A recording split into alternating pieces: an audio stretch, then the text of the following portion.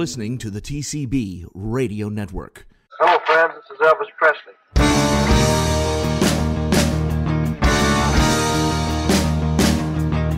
I am Marion Cox, the official sex symbol on TCB Radio Network. This is Mindi Miller. This is Ray Walker from the Jordanaires. This is Elvis's Speedway co-star Victoria Paige Meyerink. This is Cynthia Pepper from Kissing Cousins. This is Zoey Goto, author of Elvis Style, from Zoot Suits to Jumpsuits. This is Don Wilson, and if you're looking for Elvis, you're in the right place. TCB Radio Network. Where it's all about Elvis.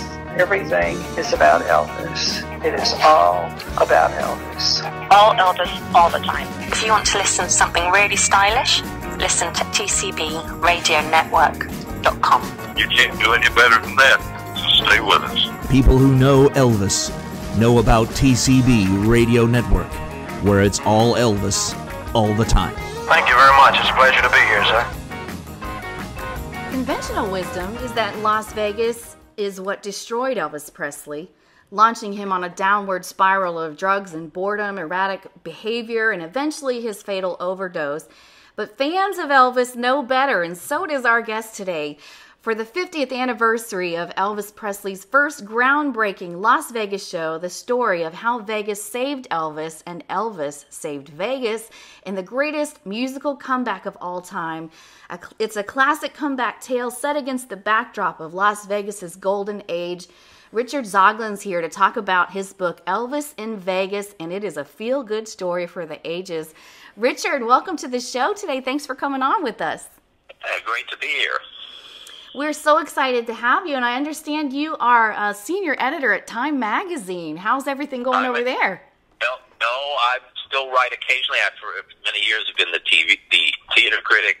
I've been working, uh, writing for Time for more than thirty years. So uh, things have changed a lot around there, but uh, still a great magazine. Awesome. Now tell us what inspired you to write this book. Have you been an Elvis fan your whole life?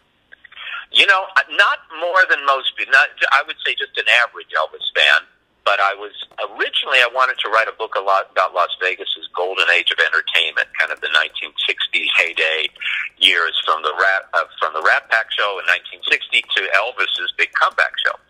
But as I started researching it, I discovered how much connection Elvis had with Las Vegas uh, that I didn't, you know, even realize that he first played Vegas in 1956 when he was just coming up and. Uh, the Vegas, uh, he, was a young rock and roller. The Vegas nightclub crowd didn't know what to make of him, and and it, wasn't a particularly successful engagement. But he uh, he loved Vegas, and he uh, I didn't realize how he would he was a, a constant visitor to Vegas. It was sort of his favorite getaway. He would come there often, he would see shows, and he of course made Viva Las Vegas there in '63, and he married Priscilla there in '67. And so when it came time for Elvis to return to live performing after, of course, nearly a decade of not doing any live performing, uh, Vegas was somehow the logical place. And so that connection with Vegas is what really uh, inspired me to, to, to make Elvis the centerpiece of the book.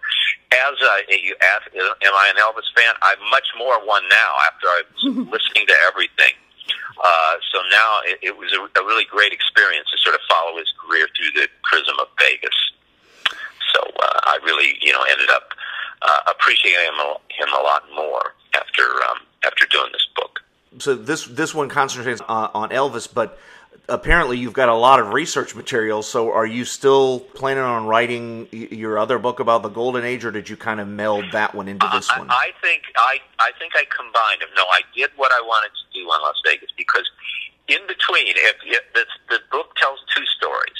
It tells the story of Elvis and Elvis's you know career trajectory, kind of on the downhill side in the in the mid '60s when things weren't going so well for him, and then the huge comeback uh, in Vegas in '69. But at the same time, I want to set up that comeback in Vegas by telling what what Vegas was like when Elvis was was coming back, and how El- uh, Vegas had gone through its own kind of difficult times too. It was you know at the, at the the center of the entertainment world in the early '60s, the Rat Pack were the were the kings of Las Vegas. But then it too started to have problems in the later '60s when the when the Beatles came along and the rock and roll revolution and the counterculture and all that, and suddenly Vegas wasn't so cool anymore.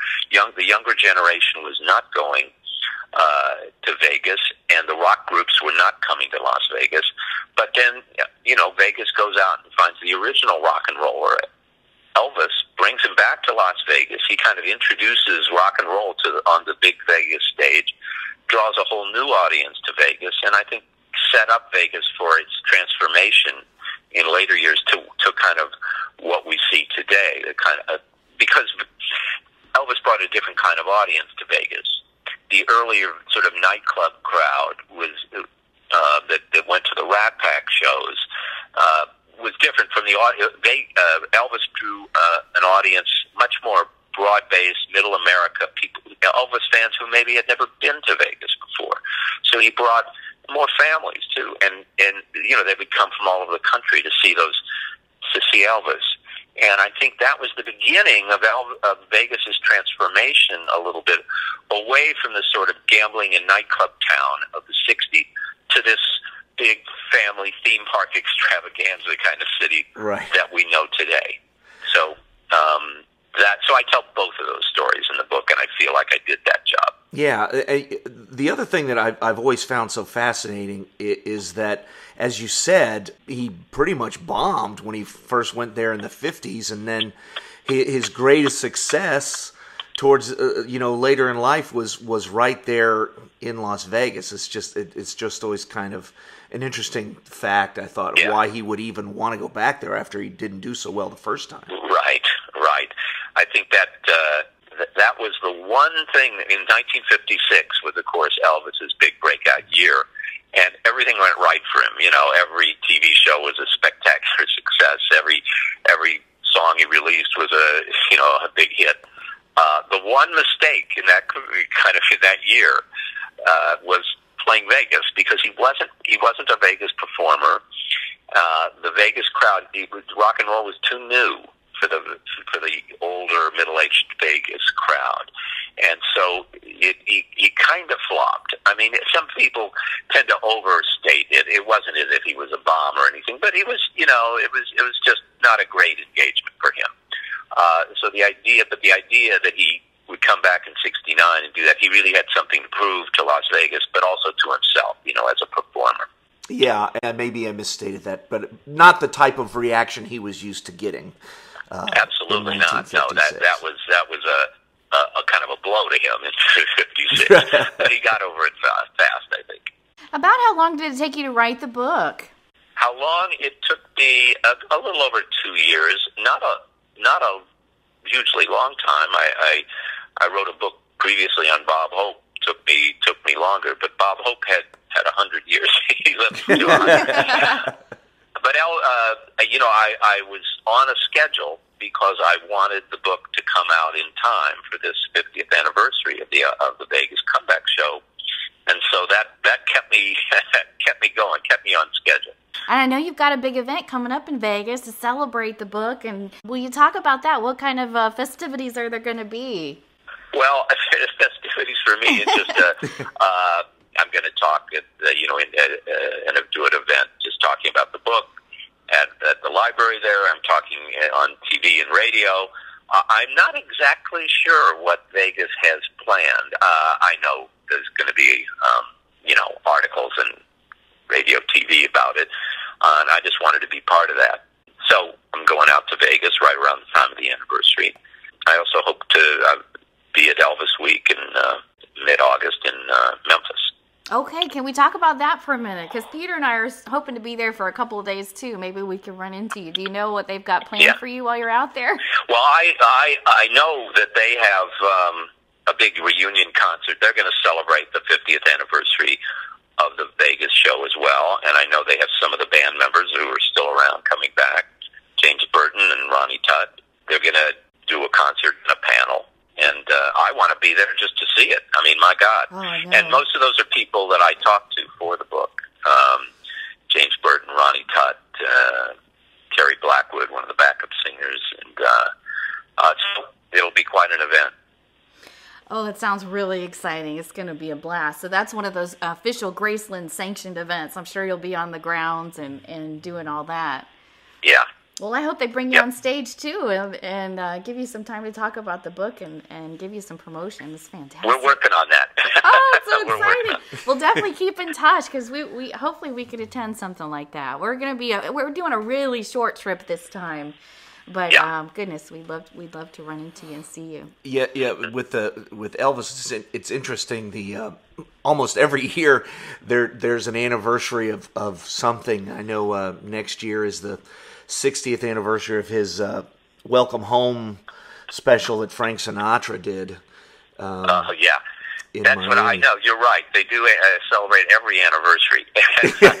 I, knew that this one, though, is particular. You know, of all the anniversaries, wow, the Vegas comeback show, because you know we all know how important that was to his career. Absolutely, uh, and totally um, revitalized him, as it revitalized uh, Las Vegas.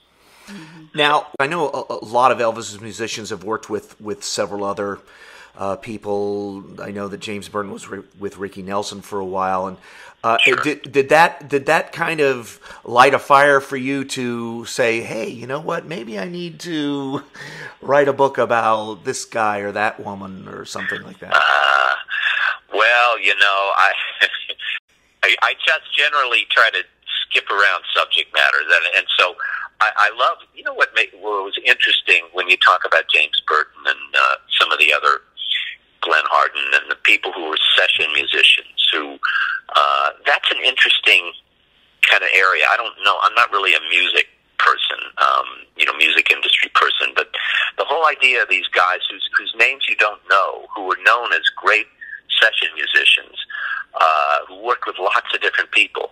Mean, interestingly, James Burton had worked when he came on board with Elvis in '69. He'd worked with everyone from Frank Sinatra to Merle Haggard and uh, and, and Ricky Nelson, and uh, he could do rock, he could do mainstream, you know, jazz. He he he was an amazing, you know, versatile uh, and skilled guitarist, and and he was known, and that was the guy that Elvis picked. Uh, out of all the people that were available, and Elvis was very good at picking, you know, picking his uh, musicians, and they were a key part of the success of that show. So that is an area that really interests me. I don't know if for me there's a book in it, but uh, it certainly sparked my interest, and, and uh, I, in fact, you know that that would be a good book for somebody. Uh, the, the whole session musicians, the people, the, the the faces, the names that you don't know, who were key to so many artists' success. Yeah, as you said, he was almost masterful in picking the right musicians for the material he was it's a doing. good book for you, Peter Alden. You should write that. Yeah.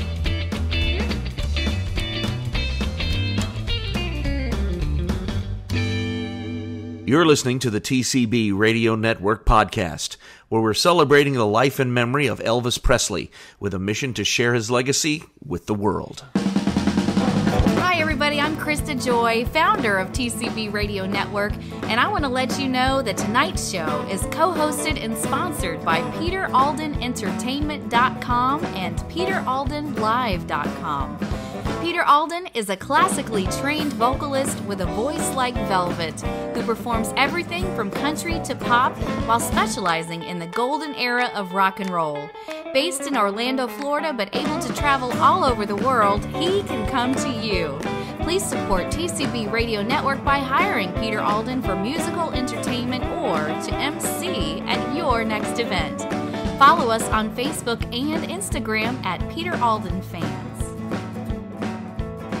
Well, my question is now, in your opinion, what do you think placed Elvis above like the drawing power of people like the Rat Pack, Tom Jones, Wayne Newton? All those guys are huge, were, are huge figures yeah. in Vegas. What do you think gave Elvis? Maybe it was those fantastic musicians like that you're talking about. What do you think it was? Well, I think his stage charisma was just unmatched. Uh, you know, the say the Rat Pack shows were for a different era. It was much sort of cooler, uh, more intimate sort of nightclub type of shows. And they were, of course, very big. Sinatra was always very big in Las Vegas. But Elvis brought that first of all, that rock kind of energy to the stage of Vegas, and it was different from almost anything uh, that Vegas had seen before. It was really a rock concert for a Las Vegas showroom stage. And um, the only precursor that, uh, you know, to Elvis, the, the one show that may have influenced him a little bit was Tom Jones, who was very big in Vegas starting around 68. And Elvis went to see Tom's show, and Tom had that very uh, sexual, uh, exciting, high energy stage presence. Uh, also, kind of flirting with the women in, sta- in the audience a little bit, uh, tight pants and all that. Well, Elvis took took some of his moves from Tom. He got friendly with Tom. Uh, they would talk about their shows, and I think so. He he got a little bit um, from Tom, but Elvis went beyond Tom Jones. I think just as a singer, he was just uh, more. He, he could do more things. Mm-hmm. He was. His, he had a great voice. Tom had a great voice too, but um, it kind of didn't last too long. He sort of strained his voice a lot. He was tough to listen to. He, he you could hear, you could feel him working and sweating. Whereas Elvis was, of course, amazingly uh, energetic on stage and really, you know, worked himself into a frenzy, uh, sweating, out of breath. But boy, he still could he could control it in a certain way. Anyway, I think on just as a stage performer, I just think nobody could match Elvis mm-hmm. in, in Las Vegas, even though others were big draws. And then uh, just the, you know, both he, he offered both the nostalgia for you know the or the, you know, throwback to the '50s, and so the older fans who remembered him from the '50s loved it. But he also could do the new stuff. Uh, he was introducing new stuff all the time. He was in, doing covers of songs that other artists had made, you know, famous, and he did them sometimes better than the originals. And so he he could do gospel, he could do country, he could do uh, you know mainstream pop standards. So something for everybody, and I think that, and that's what made him stand out in Vegas. Now, what do you think? For example, a lot of people a lot of people criticize uh, Elvis because he didn't actually write any music. Do you think any of that came into into play? Because I know he he could take he could take someone else's song and pretty much make it his own. Yeah, that, that, that's a really good point, and I think that's why Elvis was having trouble in the after the Beatles came up. A whole new thing happened. Suddenly, singers had to be songwriters as well. They, you know, most of the groups of the, of the late '60s from Bob Dylan to Simon and Garfunkel were were uh, uh, writing their own stuff, and so Elvis looked like a you know too old fashioned. He was just a classic singer who sang other people's material. But think about it. I mean, right? He was not a songwriter, but Sinatra wasn't a songwriter either. He uh, and, and we think of him as a great artist as well. You can be an interpreter of mm-hmm. other people's works and, and, and be a great artist. And that's what Elvis was. He could take, he, he knew how to sing songs. He didn't, he never pretended to write songs. And that is a great skill and a t- great talent in itself. It's just that that talent was uh, valued less in the in the mid to late '60s among in the rock world because singers were supposed to write their own songs, express their own feelings and their own views. You know, it was great, but that is one talent, but that doesn't. That's not the only talent in, in the musical world. Right. Well, and as you said, I think Elvis was very good at picking material that that did kind of express how he was feeling uh, about right. things. Yeah, I mean, sure. He showed that you could take somebody else's song and put your own stamp on it and get you know great emotion out of it. Make it a statement, a personal statement as well. Uh, not every singer, not every great singer can be a, a songwriter. All the great, you know, the greatest singers from opera, from opera singers to uh, mainstream pop jazz singers are, are singing other people's songs, and we we revere them. And so Elvis is in is in that category. He's not in the um, singer songwriter Beatles, Rolling Stones category, but he's great nevertheless. So, when you set out to research uh, this book and talk to a lot of the people that knew Elvis and worked with him, I'm sure that there's some stuff that, that you already knew because there's been so much written about him. But in your research, did you did you learn anything or discover anything about Elvis that kind of surprised you? Well, sure, all the way along. One little piece of his history that I think I bring out and I learned from from people and from some reading was his relationship with Liberace. I mean, mm-hmm. I, I'm talking about Las Vegas, and he he came to Vegas in '56, and he didn't do very well, but that was a big uh, engagement for him for two reasons. Uh, one, he discovered the song Hound Dog there. Uh, a, a Vegas lounge group uh, called Freddie Bell and the Bellboys were doing Hound Dog over their their kind of rock rock and roll version of Big Mama Thornton's song. Elvis saw it, loved it, and um, put it into his own act, and then recorded it later that summer. And the other thing that happened in '56 was he he met Liberace, and Liberace was a big Vegas star at the time, and with that over the top, flamboyant performance style, he meets Elvis, and he said he gave him one piece of advice. He says, "Your act needs more glitz." wow. and I, you know, I I love that because and Elvis really uh, liked Liberace as a performer. I think he appreciated his showmanship, and I think he learned from Liberace. How many people would would link up those two performers?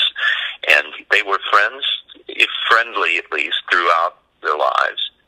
I think that that link was something that was new to me and surprising.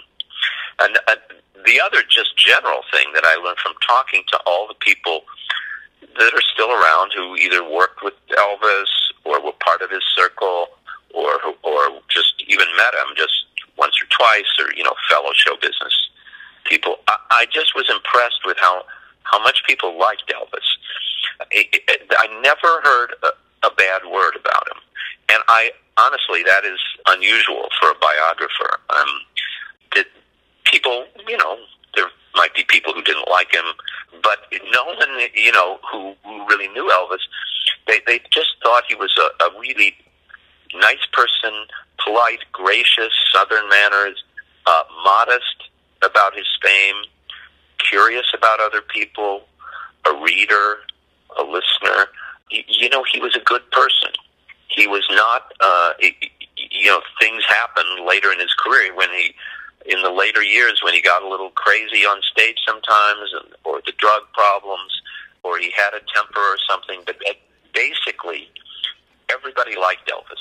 He was a, he was a nice person, and I just was impressed by that.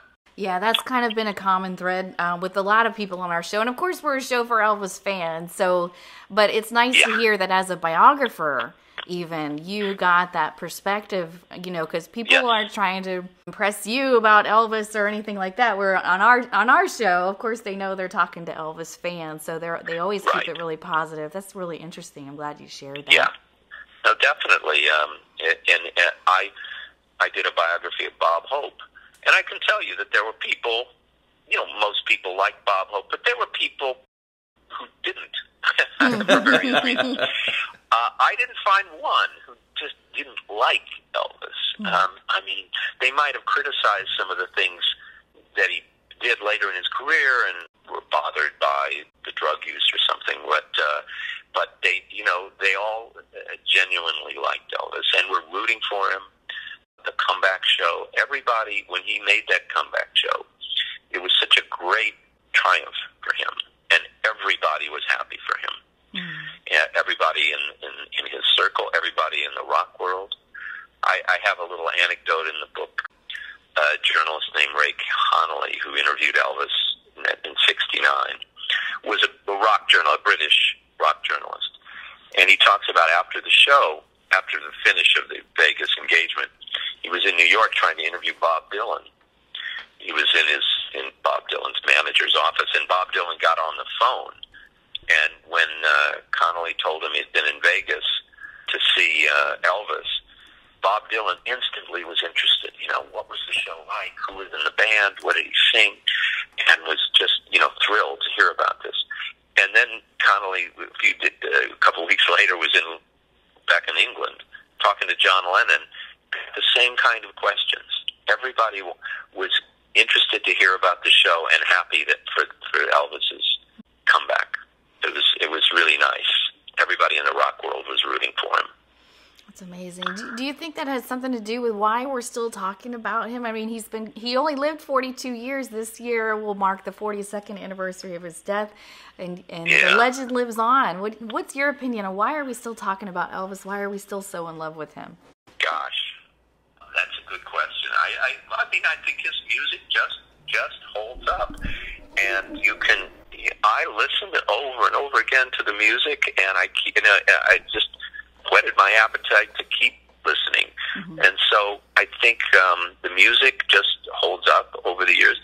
And the and the personal story is just fascinating. You know, this kid from Tupelo who had fame thrust on him when he really couldn't uh, know how to handle it. What impressed me, you know, I was talking about a later era, but in '56, just reminding myself about how this kid was experiencing the sort of fame no one had ever had before. I mean, the, the kind of screaming adulation fans uh, on those tours ar- uh, around the South was just unprecedented. And how a kid could, no experience in that world, could survive and and and uh, was was amazing. So, and then to go through the career ups and downs and maybe the down swings in the 60s and then to come back to reinvent himself as a performer. I think it's just a great show business story. It's just a great personal story and a great show business story. And I think so. I think the personal story continues to resonate, uh, and along with the music. So I guess that's my best analysis. That's a great, that's a great answer. What do you hope that Elvis fans, in particular, what do you hope they'll get from reading this book that they probably haven't gotten from all the other stuff that's out there? Well, I I would. Reason I wrote the book is that people have, as you know, have talked about that comeback show in Vegas for for a long time, um, and, and other books have been written about it, and and lots of people have talked about it. But no, in all that, no one really talked about not only what Vegas did for Elvis's career, but for what Elvis did for Vegas. And that's what I think I bring new uh, in this book. Um, how Elvis was really instrumental in turning Vegas in a new direction. As I said, it was before Elvis. It was kind of the. It was still a nightclub shows were more intimate, smaller venues, just a different kind of vibe going on. Elvis brought that big rock concert like extravaganza to the Vegas stage and bringing that new audience, which a much broader based audience, which I think set up Vegas. I, I say it was sort of a, the starting gun for all the changes that would happen in Vegas over the, you know, a couple of decades, the next couple of decades. The, basically the rebirth of Vegas as a kind of big family vacation mecca the theme park hotels, the big, you know, the the Mirage and the and Caesar's Palace and so forth, and the big big shows, the Cirque du Soleil, uh, to the to the residencies today of, of starting with Celine Dion to uh, Jennifer Lopez and Lady Gaga. They're all uh, Elvis was the first kind of of that kind of show. I think it sort of pointed Vegas in a new direction. So I I hope what I'm bringing to the table is uh, a, a new perspective on how Elvis impacted Vegas as well as how Vegas impacted Elvis. Yeah, this book sounds fantastic. So, Richard, everybody listening want to know where they can pick up Elvis in Vegas. So, can you let us know yeah. where some of the places they can get it? Well, you can get it in any bookstore. Uh, it's a Simon and Schuster book, and I'm sure that every bookstore near you will carry. Or you can get it on Amazon. You can get it on BarnesandNoble.com. You can get it on any uh, of the independent booksellers, and it should be all over the place. And I'm hoping to get a lot of attention for it, sort of tied in with the anniversary of the show. Mm-hmm. And when you're a book author, you just try to get as much attention as possible. so I'm very happy that you folks are talking to me. Oh, we're so honored to have you, and please keep in touch. Let us know about you know how things develop during Elvis Week. We will be sure to let all of our listeners and friends know because I'm sure they'll want to come meet you and shake your hand and all that stuff. So absolutely, okay. we, yeah, we're having a we're having a, a, a meetup ourselves, and so we will definitely remind people to uh, go see you when you speak as well. Yeah, if you happen to be on okay. Beale Street on August 13th at 7 o'clock, we're going to be at a little place called Tin Roof doing a show. So if you happen to be around there, drop in and say hi. All right. I will see what my schedule is. I'd love to see you. All right. Richard, well, thank, thank, you so much, much for uh, spending so much time with us. We really appreciate it. Great. I had fun. Thanks a lot. Thanks for listening to our show today. Don't forget to subscribe to TCB Radio Network on iTunes, Google Podcasts, Spotify, Breaker, Pocket Cast, Radio Public, Stitcher, or your favorite podcast platform. By subscribing, you'll get a notification as soon as our latest episode drops. While you're at it, please rate us with a five star review. This will help other Elvis fans find our show. Also, this just in, you can now subscribe to our podcast episodes on YouTube. We also have a YouTube channel that includes archived episodes of our Facebook Live broadcasts and more. You can find links to this and so much more at tcbradionetwork.com. TCB Radio Network is strictly a fan publication not affiliated in any way with Elvis Presley Enterprises or any of its affiliates or subsidiaries. Please visit us online at tcbradionetwork.com. All trademarks, product names, company names, and logos mentioned are the properties of their respective owners. All opinions stated within do not necessarily reflect the opinions of anyone else, and certainly not Elvis Presley Enterprises. Still the King, our theme song for TCB Radio Network podcast, was written by Shane Douglas, produced by Terry Fullwider at Blue Spot Studios, and performed by Peter Alden and his band Crown Electric Company, featuring David Fontana, son of Elvis Presley's original drummer DJ Fontana, on drums. Presley is still the king. Well, he's still the king. That's alright. Man, he sure could sing. That's alright. Still the king. That's alright. The original superstar, burning up, rocking hard, the one and only rock and roll.